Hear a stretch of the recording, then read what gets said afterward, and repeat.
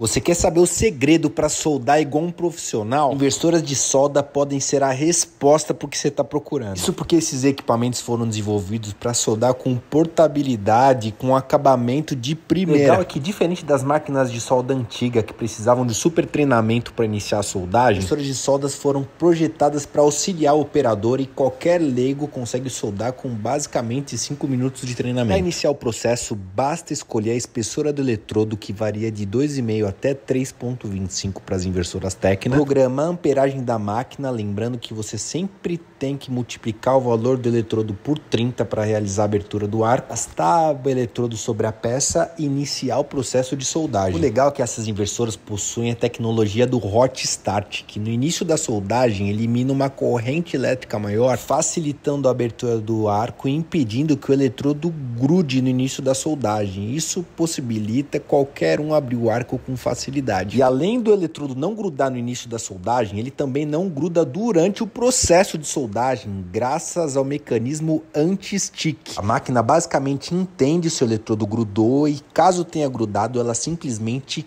corta totalmente a corrente, evitando o derretimento completo do eletrodo. Mas por mais que o anti-stick te ajude a evitar que o eletrodo grude, ele não te ajuda a manter o arco aberto. E para isso, a máquina tem o famoso Arc Force. Basicamente, mesmo se você remover o eletrodo da peça e afastar ele, ele vai controlar a corrente elétrica e manter o arco aberto. Se o material estiver sujo ou oxidado, ele também entende e regula a corrente elétrica, mantendo sempre o arco aberto e proporcionando o melhor acabamento de soldagem. E com todos esses mecanismos eu te provo que soldar nunca foi tão fácil. Com uma inversora, uma rede elétrica e um eletrodo você basicamente solda qualquer material. Lembrando que essas inversoras MMA, que são projetadas para utilizar eletrodo 6013 e eletrodo revestido, elas são projetadas para soldar materiais mais grossos, assim como você está vendo ilustrado no vídeo. Caso você queira soldar materiais mais finos, como por exemplo chapas de alumínio, eu peço que você opte pelas inversoras TIG e MIG. Vai evitar que você fure o material e vai ter um acabamento muito melhor. E apenas finalizando, sempre preste atenção no ciclo de trabalho, o fator de trabalho das inversoras de solda. Com isso você vai poder saber quanto tempo você pode utilizar a sua inversora constantemente sem dar descanso para ela. No caso dessa inversora que a gente está demonstrando, a amperagem máxima dela é de 135 amperes e o fator de trabalho é de 60% que, que isso significa? Se eu programar a minha inversora na máxima capacidade dela, ela consegue soldar 6 minutos constante e a gente precisa dar um descanso de 4 minutos para ela. Agora, se eu programar a corrente em 108 amperes, ela vai para 100% de fator de trabalho e basicamente trabalha a tarde inteira sem parar e sem descanso. Então, se você estava cansado de equipamento